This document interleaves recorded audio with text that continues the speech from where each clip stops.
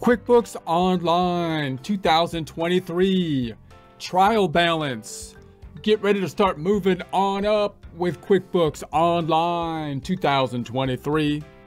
We're going to be using the free QuickBooks Online test drive, searching in our online search engine for QuickBooks Online test drive, selecting the option that has intuit.com and the URL, Intuit being the owner of QuickBooks, picking the United States version of the software and verify that we're not a robot. Support accounting instruction by clicking the link below, giving you a free month membership to all of the content on our website, broken out by category, further broken out by course. Each course then organized in a logical, reasonable fashion, making it much more easy to find what you need than can be done on a YouTube page. We also include added resources such as Excel practice problems, PDF files, and more like QuickBooks backup files when applicable. So once again, click the link below for a free month membership to our website and all the content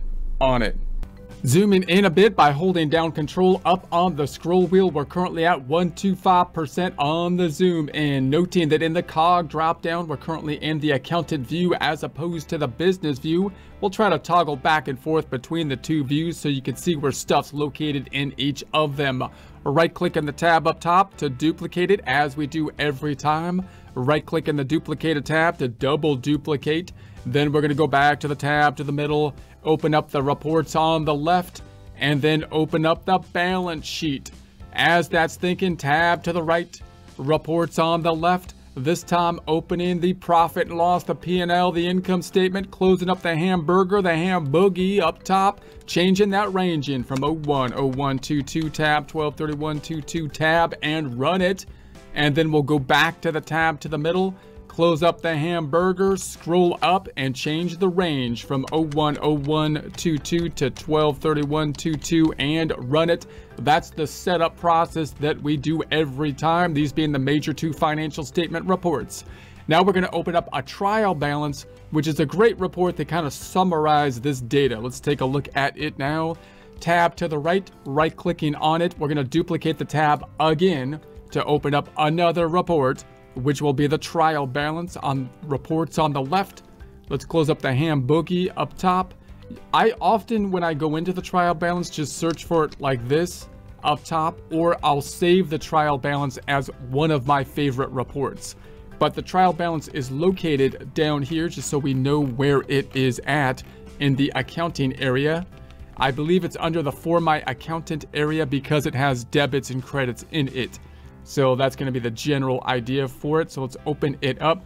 Even if you're not familiar with debits and credits, I think the trial balance can be a really good report and we, we will be using it in the second half or future course when we start a, a practice problem from scratch and start to build it because the trial balance is thought to be kind of that, that building component or stepping stone before we get to the actual construction of the financial statements. Let's think about that in more depth in a sec.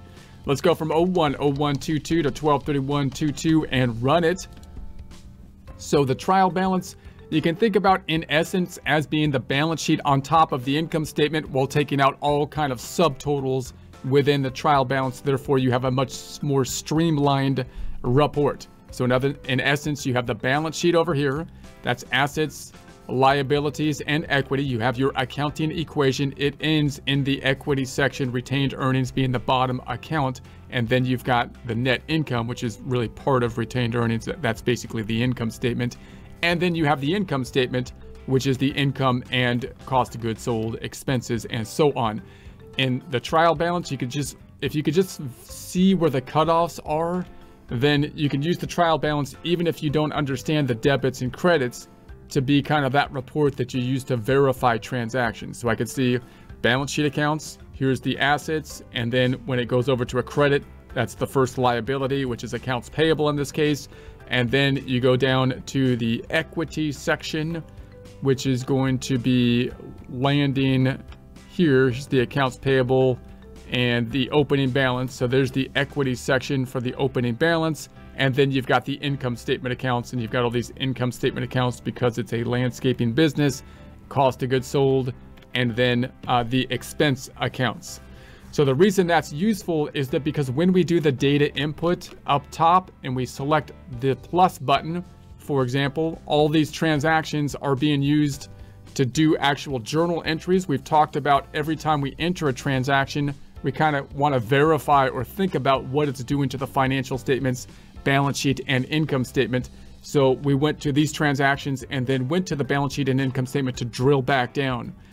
Now, you, if you understand the trial balance, you can just have this report open instead of the balance sheet and income statement. And as you enter checks, for example, you can go into this account and drill down uh, from the trial balance, which can be a little bit more streamlined. If the other side was some kind of expense, the expense is on the same report down at the bottom in the expense area, just without the subtotals and you can still use that to drill down. And so that's a nice quick way that you can kind of verify uh, the activity. So I'm going to go back again. Now, just a quick review on how we would think this these these items to be constructed if you were to do them by hand. Like, what's the software kind of doing here? Note, and this will help when we build and try to make adjustments to the to our system. If I go to the first tab and we go into the uh, accounting down below, the first thing we do is to set up, I'm going to say see the chart of accounts, is to set up the chart of accounts, which you can also see is usually in order by type. And when we say by type, not alphabetical order by type, but balance sheet on top of the income statement. Same order as, in essence, the trial balance as well. So we set up our chart of accounts, then we do the data input. The data input is usually done with these forms. These forms are what create the journal entries from a bookkeeping standpoint, from a double entry accounting standpoint. These create the journal entries, and then the next step is usually we think about the creation of a trial balance. So here's the trial balance that's been created from, in essence, the journal entries. Now, oftentimes we kind of skip this step and we go straight to the financial forms that are being generated. But just so you how you can see how this fits in the normal construction process, what's the software actually doing? you, you can kind of think of it as, well, first we've got our accounts, and then we enter the transactions to create a trial balance. If you were to do this by hand, this would often be the easiest way to do it. And then from the trial balance, we take these accounts and break them out, adding the subtotals and transferring them from a debit and credit format, which is actually a little bit more efficient of a format to think about it, to a plus and minus format in the format of a balance sheet and an income statement. So now we've got no more debits and credits. We have it in the form of a, a, double entry accounting system with an accounting equation. So there's that. Now also there's a, another little thing that you kind of have to understand with the trial balance is that it, it, it could be if you're running the trial balance for a whole year or a year to date, it works quite well. But you'll note the relationship between the balance sheet and the income statement that we talked about before. If I go back to the balance sheet, you can see down here, you've got the net income right here, which is the income statement bottom line in the trial balance that rolls into the retained earnings. So if I was to change the date up one date here and go to 2023 to 12 31 23 and run it now you've got that that retained earnings moved up or that amount moved up into the retained earnings right so so QuickBooks does, that's the closing process. So it closed out the income statement into retained earnings automatically. And it does that quite well when you're talking about year to year type of stuff, but it doesn't do it quite as well when you're like in the middle of the month. So for example, if I ran this report from 120122 to 123122, then I scroll down the amount that they're putting in net income is for the whole year, right? They didn't they didn't break out like one month's of net income and then break out the other months in retained earnings. So so so now when you transfer that concept over to the trial balance, the trial balance has the balance sheet on top of the income statement. Well, how is that possible?